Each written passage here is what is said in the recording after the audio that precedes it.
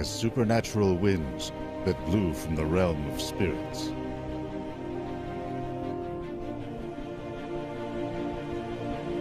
Modern science has linked these polar light shows, called auroras, to vast waves of electrified gas hurled in our direction by the sun.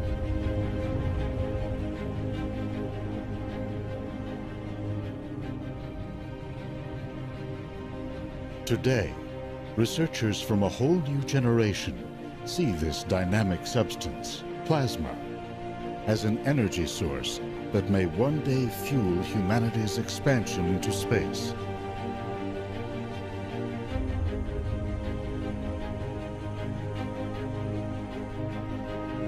What can we learn? And how far can we go? By tapping into the strange and elusive fourth state of matter.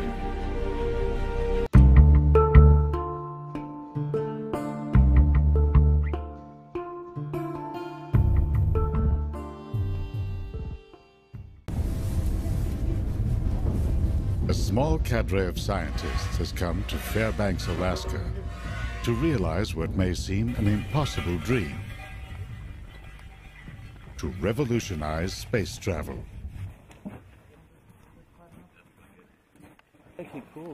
Dr. Ben Longmier and his team from the University of Michigan have designed a whole new type of rocket engine that promises a faster and more efficient way to get around in space.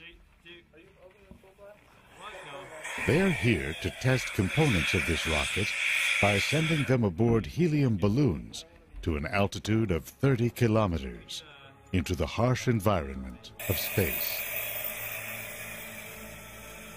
Above the North and South Poles, conditions are about as harsh as you can get.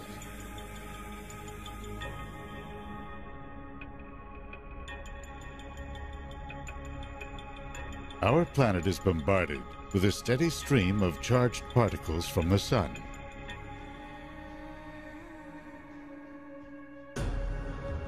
Earth's magnetic field accelerates and channels them, turning the night into a spectacle of color.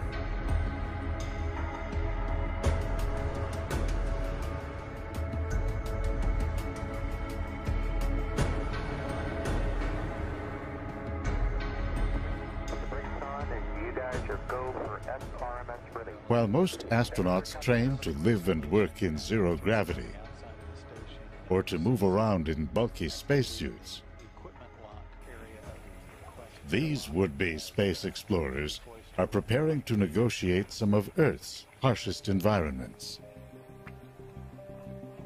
Once they launch their payload, it will rise slowly into the upper atmosphere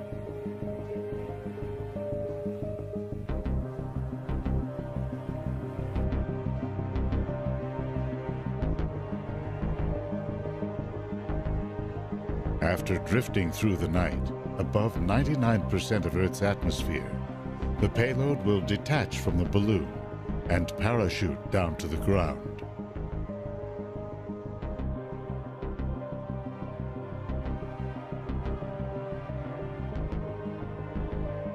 The team must be prepared to retrieve it across a large stretch of Alaska's snowy wilderness.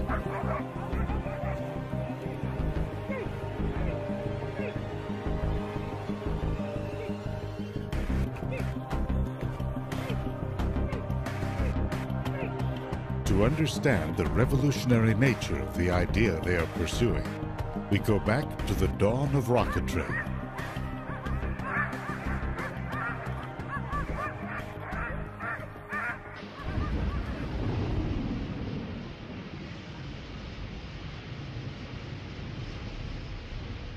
In over a hundred years, the technology of a rocket has hardly changed. Fill a cylinder with volatile chemicals. Contact! Yes, contact! Then ignite them in a controlled explosion. The force of the blast is what pushes the rocket up.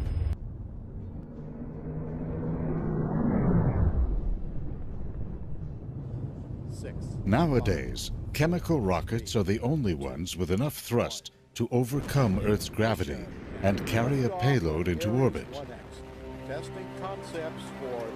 But they're not very efficient. The heavier the payload, the more fuel a rocket needs to lift it into space. But the more fuel a rocket carries, the more fuel it needs. One of the fabled Saturn V rockets of the Apollo era, for example, weighed in at 177,000 kilograms. Filled up with fuel, it weighed almost 16 times that.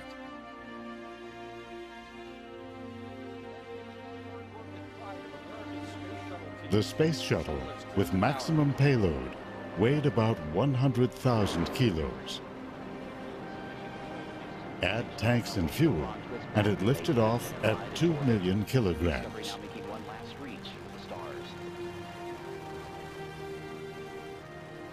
Regardless of weight, for a spacecraft to escape Earth's gravity, it must reach a minimum speed of 40,000 kilometers per hour.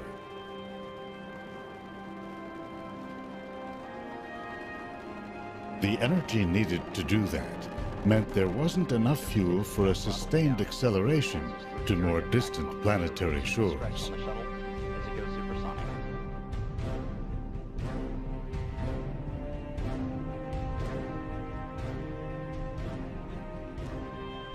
Most missions beyond Earth have relied instead on their initial launch speed to coast to their destination.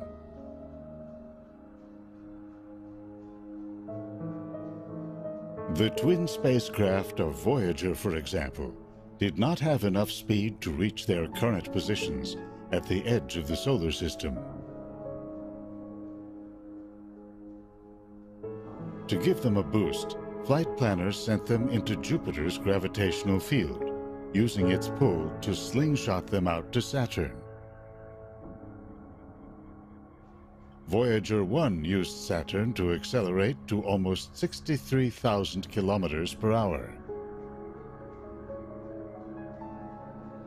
Voyager 2 got further assists from Saturn and Uranus. Ben's rockets promise far greater gas mileage than traditional chemical rockets, but with enough power to reach distant targets more quickly. The idea is that once in space, his rockets use electricity to create a weak force, which over time can accelerate them to very high speeds. They run on the same fuel that nature uses literally to power the cosmos.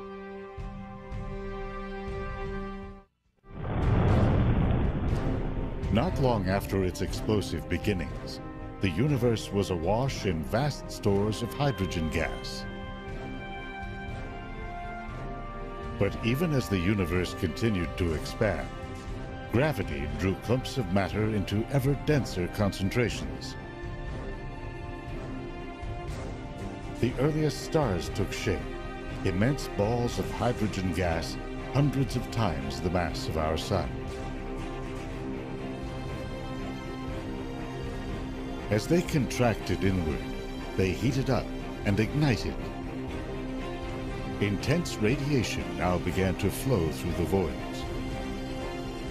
That had the effect, all through the universe, of stripping electrons away from the primordial gas. The universe became filled not with solids, liquid, or gas, but with a fourth state of matter, plasma. On our planet, Plasma occurs only in rare circumstances. In a hot flame, a bolt of lightning, or in a blown electrical transformer. Made up of negatively charged electrons and positively charged ions, plasma is in most cases electrically neutral since the charges balance each other out. That led the physicist Irving Langmuir in the 1920s to compare it to the clear liquid plasma that carries blood cells through our bodies.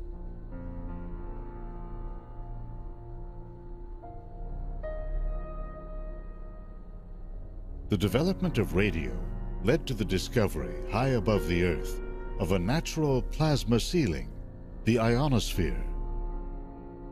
It hovers above us, reflecting some radio frequencies and absorbing others. Its importance became clear when engineers noticed that radio waves could, under some conditions, travel beyond our line of sight.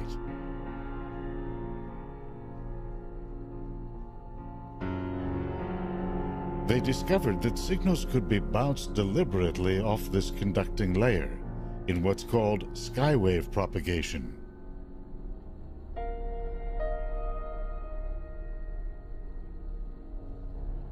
In World War II, a whole new age of global communications came of age when radio was used to execute complex worldwide logistics of troop and ship movements.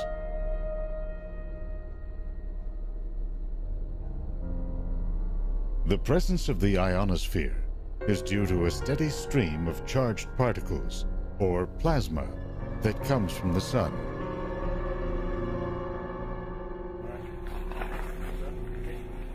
A spacecraft with complex computer components must be able to survive constant exposure to these particles.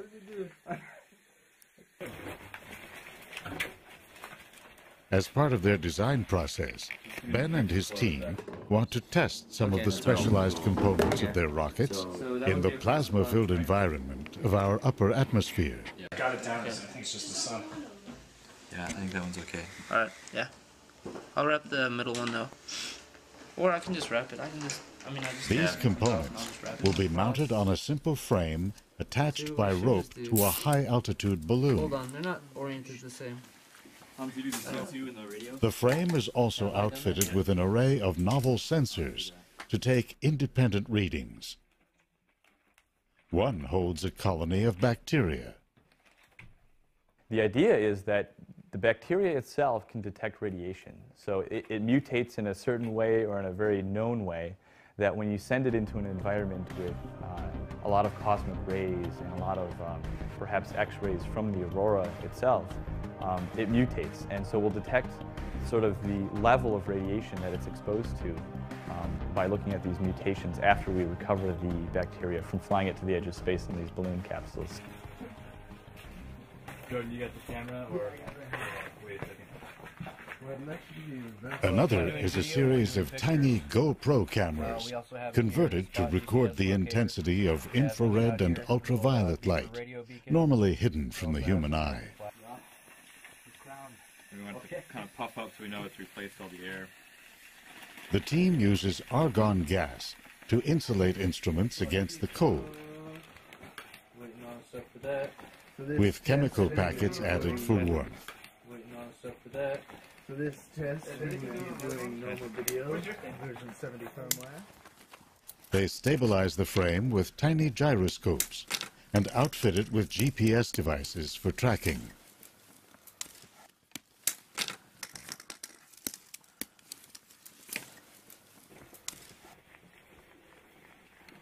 Cool.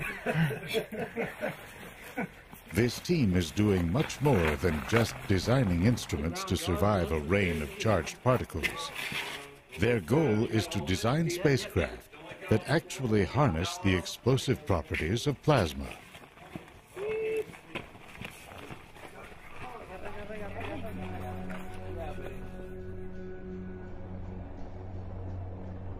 Unlike most matter on Earth, plasma conducts electricity and responds to magnetic fields.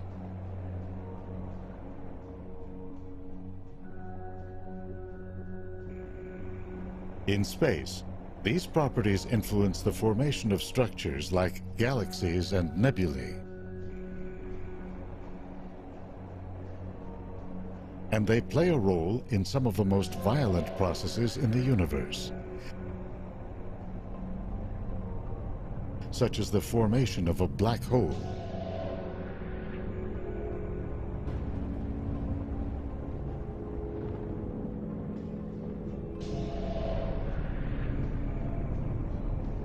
It forms in the wake of a giant star's death, when matter collapses into its core.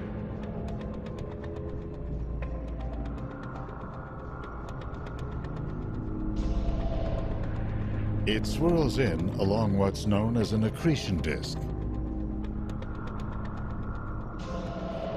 Magnetic fields take shape on the disk, rising and twisting around the polar regions.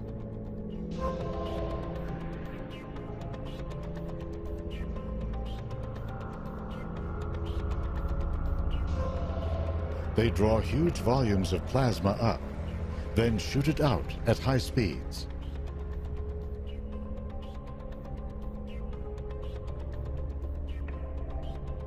These plasma jets can extend far beyond the largest black holes. You can see them blasting continuously from the centers of galaxies, reaching thousands of light years into space.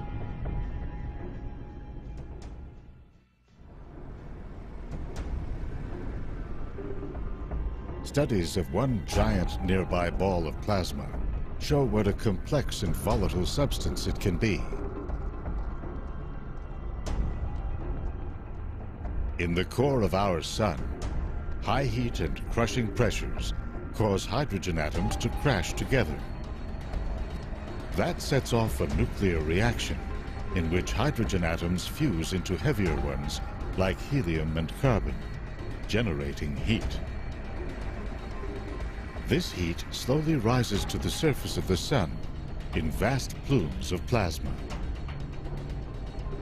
You can see evidence of this process, called convection, in a pattern of ever-evolving blobs known as granules.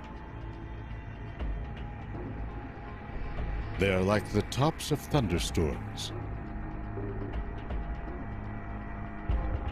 Even as energy builds within, the sun's gravity and density can stifle its escape.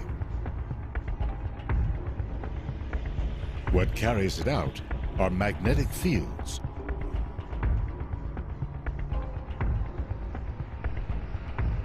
They twist and wrap around, channeling energy to the surface.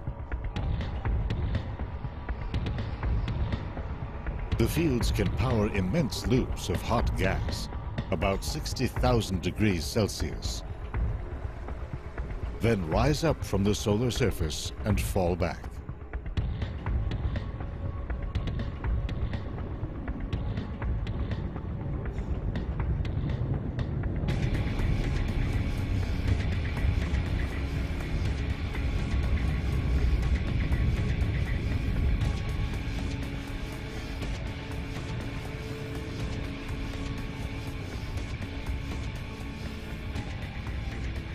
The largest eruptions, called coronal mass ejections, can reach up to 3 million kilometers per hour as they hurtle out across the solar system.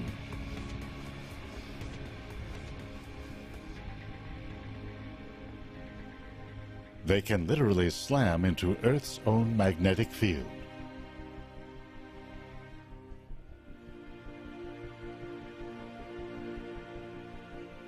Because solar particles are charged, a portion follows the orientation of Earth's magnetic field lines. Finding an opening at the poles, they race down into the atmosphere.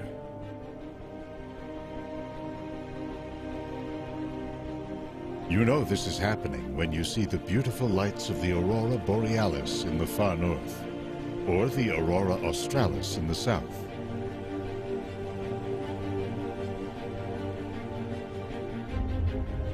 They appear when charged solar particles collide with oxygen molecules in the upper atmosphere, causing them to glow blue, red, and green depending on altitude.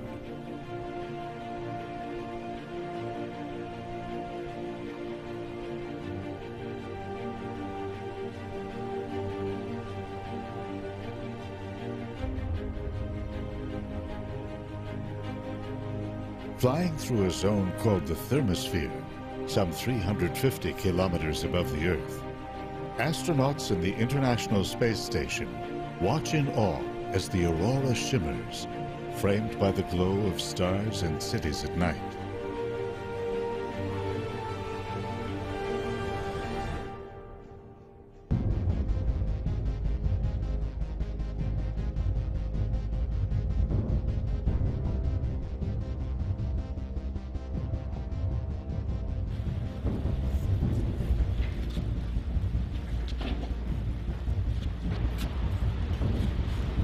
Back in Michigan, Ben and his team have set up a lab to pioneer a whole new generation of plasma rocket engines.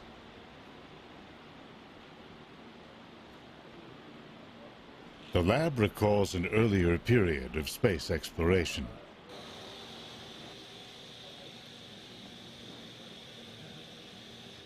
It features a giant vacuum chamber built in the 1960s in hopes of winning a contract to test Apollo moon rovers. The facility upgrades that Roland has done for the X3, some of these should be able to. The chamber has given this small university team the ability to accelerate their research into the physics of plasma and rocket engine design. Don't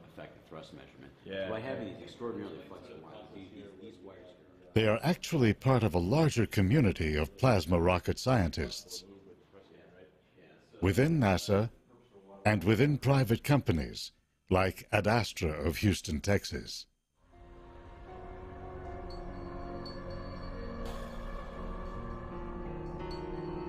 Because plasma does not occur naturally on Earth, the challenge is to create it, then harness it.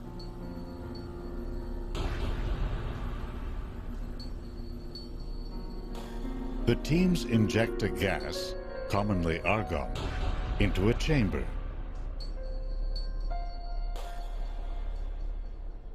They bombard it with radio waves, which strip electrons from the gas and turn it into a plasma. The soup of electrons and ions accelerates as it moves through a magnetic field generated by superconducting magnets. A second radio blast heats it up to a million degrees Celsius. That's enough to blast it out and propel a spacecraft.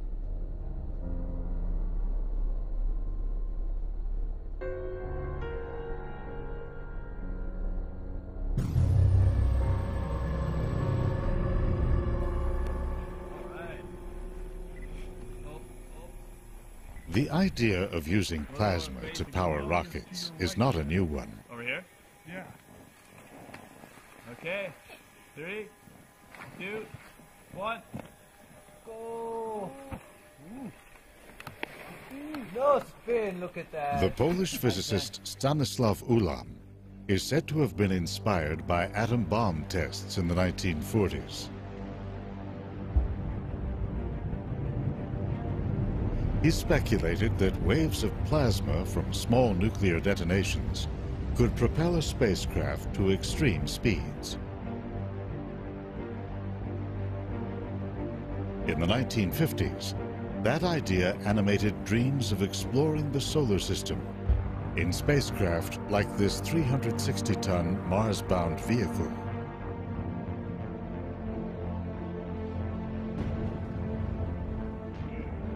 The idea gained funding in the Orion project, with the idea of driving a spacecraft with nuclear pulses and landing on Mars in only a month.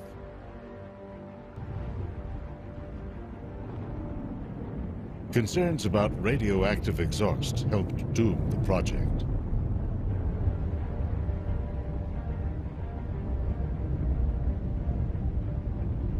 Plasma rockets, energized by nuclear reactions, were revived in the Daedalus and Nerva projects of the 1960s.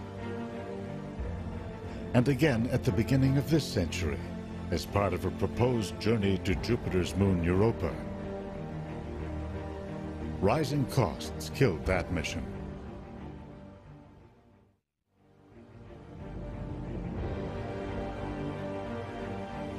Newer plasma rocket concepts have switched to solar energy to power their engines.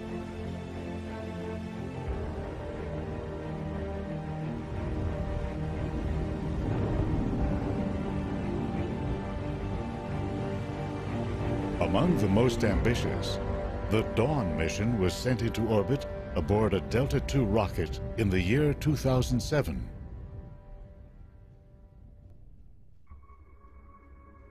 It then headed out on a 10-year mission to the asteroid belt. It uses only about 10 ounces of xenon gas fuel per day. With engines designed to fire for over 2,000 days, over time, it is expected to gain an additional 38,000 kilometers per hour.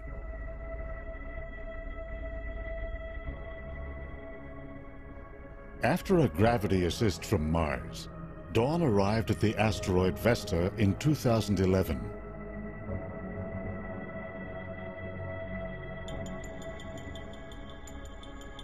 It spent a year mapping its surface and seeking clues to its interior structure.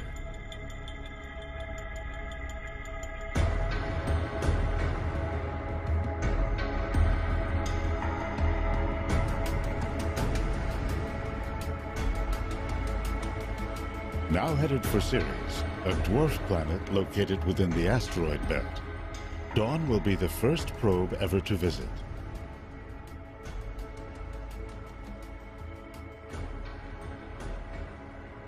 Made up of rock and ice, Ceres may well have an internal liquid ocean.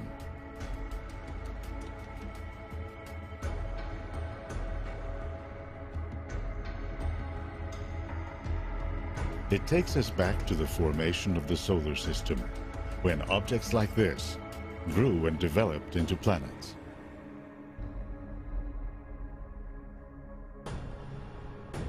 Long-range missions like Dawn are just one of many uses for plasma rockets. So NASA launches spacecraft with uh, ion engines and Hall thrusters on board. Um, almost every new geostationary satellite that a company will invest in and put up in orbit will have some sort of electric propulsion device on board to do station keeping, so to, to do little changes in attitude and, and maneuvers to keep it, keep it in its uh, geostationary orbit. NASA is planning to use a plasma rocket to do some even heavier lifting as early as 2016.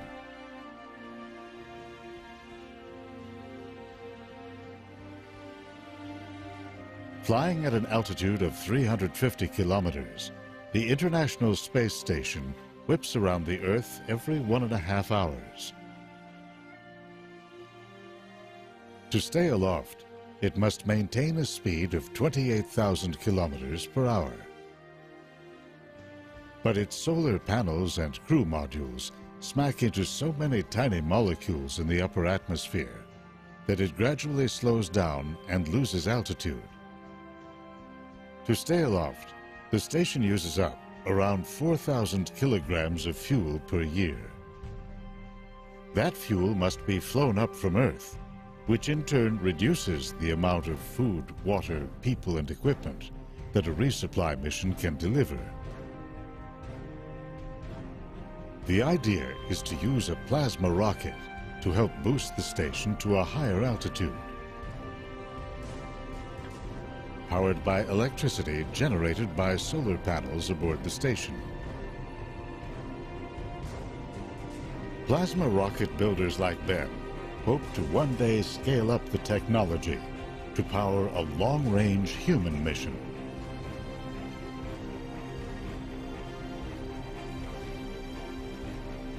After weeks spent accelerating in Earth orbit, the rocket would make a break for Mars. Cutting flight time from a year to several months would lower costs and crew hazards.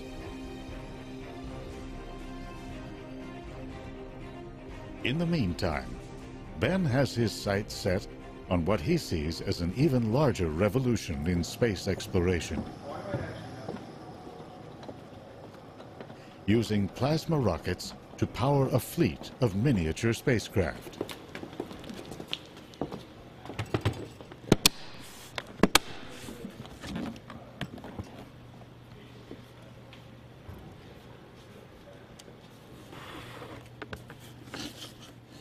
Rockets are so small that they can fit into your carry-on luggage. So here we have a uh, CubeSat. This is a small spacecraft. Its total mass would be something on the order of 5 kilograms, so it's about 10 pounds. Uh, it's 30 centimeters by 10 by 10. Uh, this is considered a 3U spacecraft, so three units of 10 by 10 by 10. And uh, we'd like to send this small spacecraft up with one of our new propulsion elements in it. Uh, this is a rapid prototyped propellant tank. So we would use this tank to store our propellant. Uh, initially, we have an idea to use a very simple propellant. The NASA craft Dawn uses the inert gas xenon as fuel. Ben's team has turned to another type of fuel that's more compact, can store more energy, and is less volatile. Distilled water.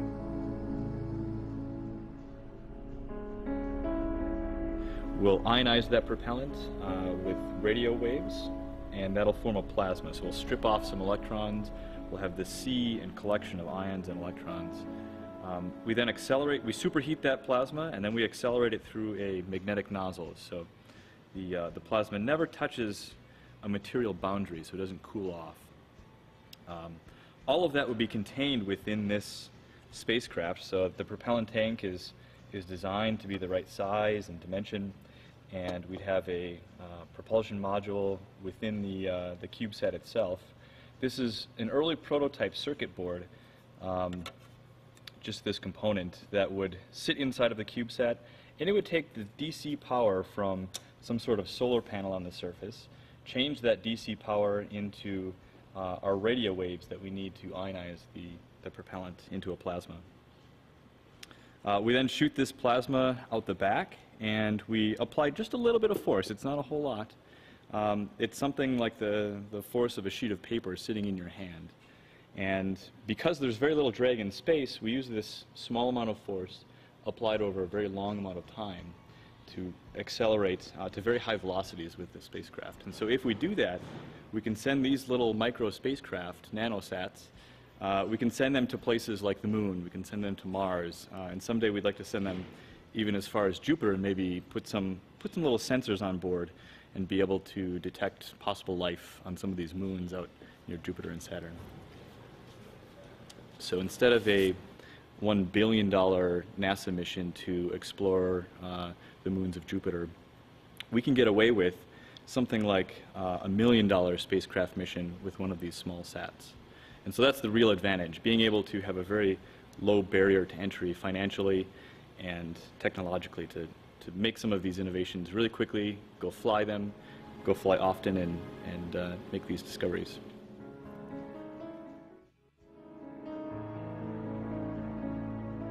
Already, hundreds of micro, nano, and even smaller satellites are in orbit. They get into space by piggybacking on commercial or government launch vehicles.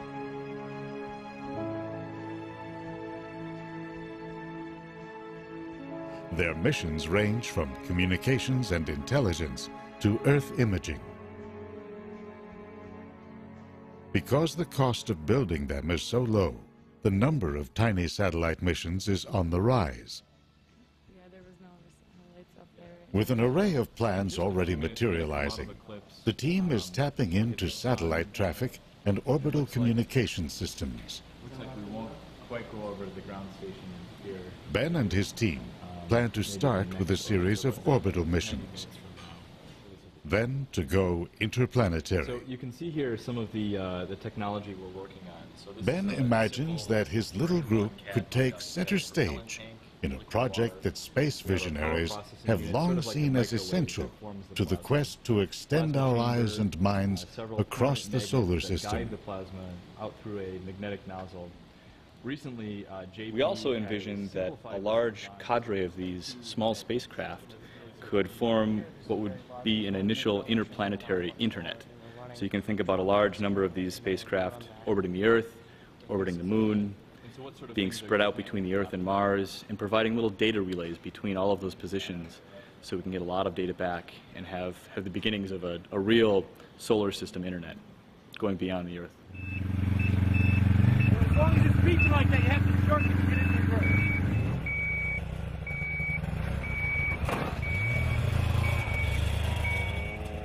Back in Alaska, their latest payload has flown all night at an altitude of over 100,000 feet. Then, in the low air pressure, the balloon burst and the payload parachuted to the ground. Point at it. Yeah, so this is our Garmin GPS. We've got a waypoint. From in here of GPS the, uh, signals given off by the payload. payload, This is with the they have a good idea of where it is. And, is. We've plugged in the coordinates and uh, this is going to be an all-day adventure. It sounds like we've got uh, five miles. But of, that doesn't mean uh, retrieving it will be So It's going to easy. be rough going No, we're end. right here. And you see where it says Sled Road? Yeah. That's the trail we're going to be following down. John knows where there's a cutoff that's going to take us off that sled road over to Dune Lake. And this little pond or lake right here, just to the west, maybe about a mile north, is where we believe the uh, the target is. The payload to be, yeah. So we're going to come down here. We're going to look for the turn, head out to Dune Lake, and then we're going to be off trail from here all the way up to here. Wow. Okay. About five miles. All right. And then we're going to have uh, both uh, Hans and I have these GPS locator places. So we've got our first uh, payload, Aurora 1, that we're going to go recover and track. We, we uh, are going to use these snow machines to recover. We've got two expert guides uh, that that go track these for a, a living. Sort of one guy's retired helicopter military pilot. And um, we've got GPS units, all the coordinates plugged in. We're about 26 miles from from here as the crow flies. Uh, we're about 30, 35 miles by trail. Last five miles being uh, really uh, off trail, so we're gonna have to break some new trail. The plan is to navigate well-worn snow trails and get within striking distance.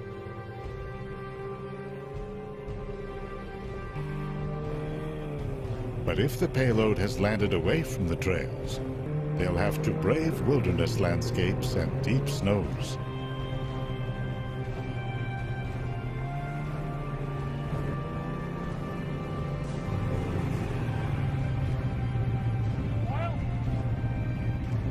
Payload is marked with that dot. Oh, so we are heading down south.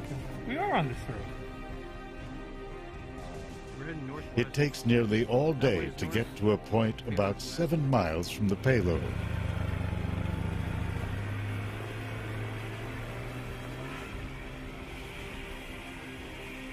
Team members set out across hills and ravines.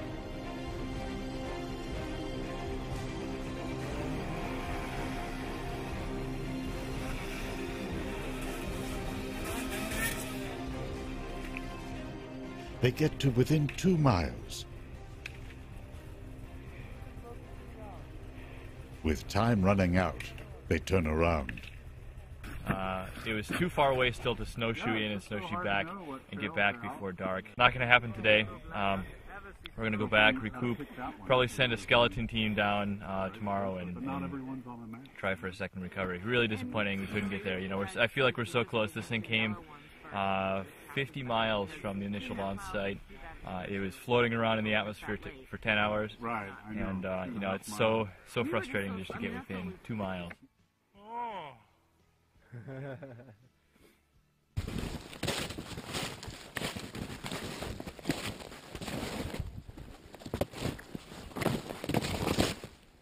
The next day, a long hike on snowshoes finally gets them to the payload.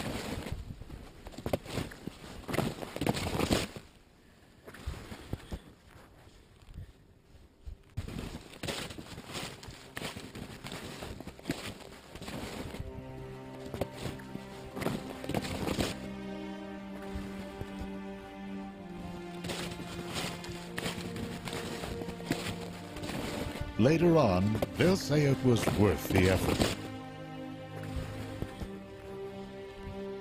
One of Ben's goals is to help boost a whole new approach to space travel that's now emerging.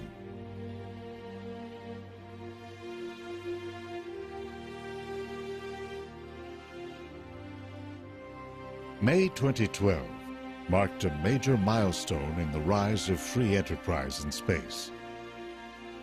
The SpaceX company successfully docked an unmanned space capsule with the International Space Station. It followed that up six months later with the first commercial resupply mission. And launch of the SpaceX Falcon 9 rocket as NASA turns to the private sector to resupply the International Space Station. That's just the beginning. NASA is looking to companies to supply orbital launch services and to be long-term partners in future manned missions beyond the moon. Hoping to make big bucks, companies are developing orbital habitats and space planes, laying the groundwork for missions geared to mining, exploration, and even tourism.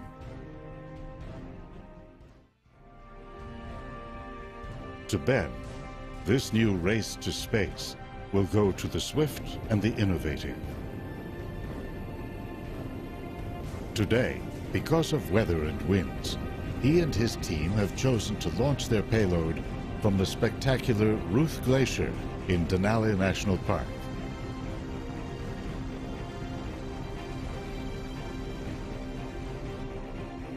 Amid the rugged terrain, this immense river of ice sweeps down into a perfect natural runway.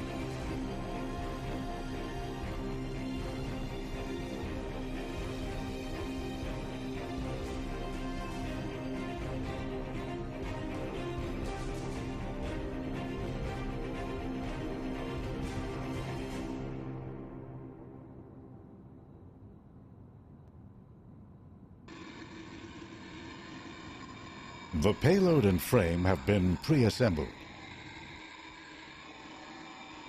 The team makes a few last-minute adjustments. They inflate the balloon with helium gas.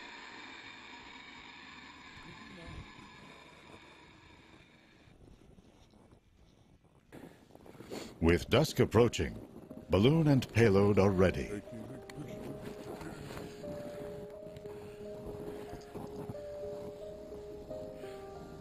Beautiful sight.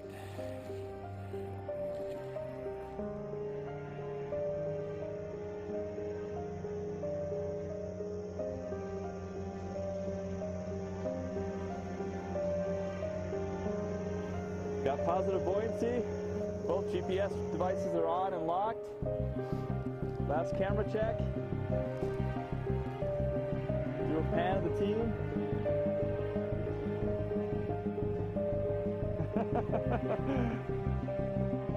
Off it goes.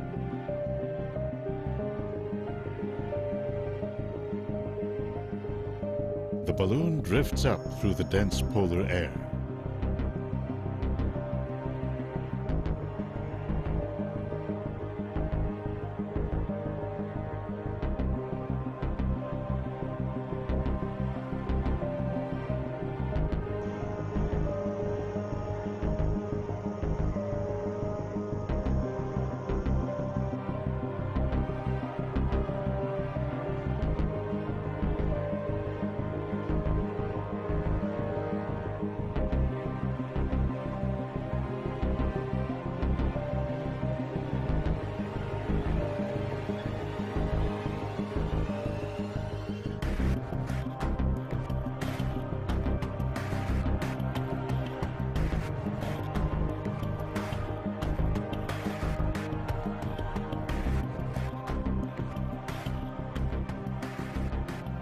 With night falling, it rises up to the edge of space.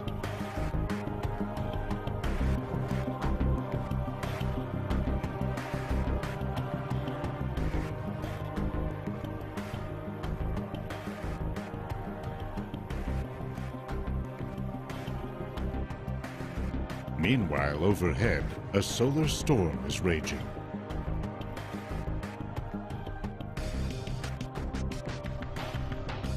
Aboard the International Space Station, astronaut Don Pettit is making observations to complement what Ben's team finds.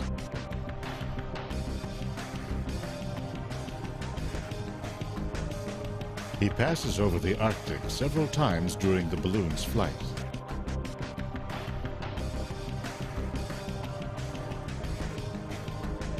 The auroras he photographs are an indicator of the amount of solar particles that will pummel Ben's rocket components.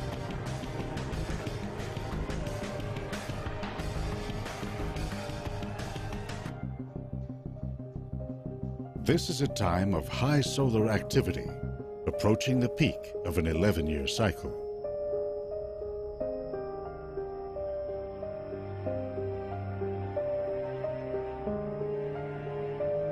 The Arctic Circle is framed by a ring of dancing auroral lights.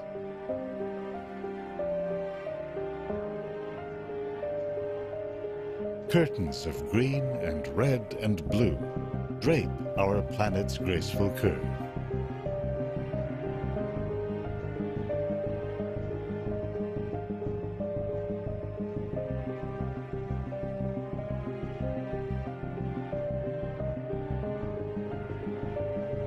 This university-based experiment operates on the remote edge of modern science, dominated by large international projects such as the Hubble Space Telescope,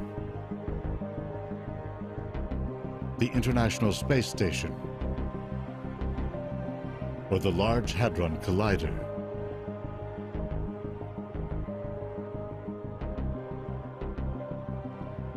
So this technology uh, we're, that we're trying to miniaturize is, is significant in the sense that it sort of opens up new frontiers. Uh, in the same way that uh, miniaturizing computer technology to a point where it fits in your pocket. So everyone carries around a cell phone. Uh, they have these miniature computers. It does, it does a lot of data processing. It gets you to your destination by GPS. Um, that sort of technology didn't exist 20 or 30 or 40 years ago when you had these big mainframe computers that were at national labs. So we're trying to change the paradigm of space exploration from the national lab case to the cell phone case, the miniature case, to be able to do a lot, a lot more things and improve our capability as a species.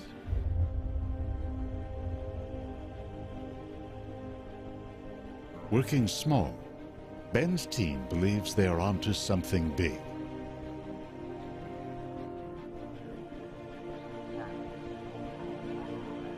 Their goal is not only to open new avenues of space exploration, but to actually seize the initiative.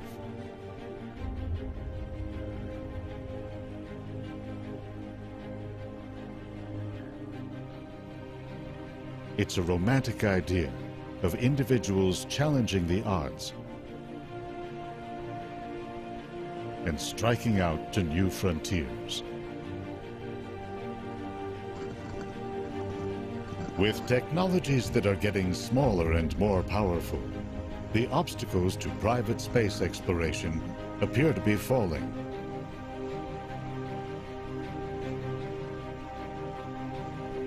Who will hold back this new breed of explorer?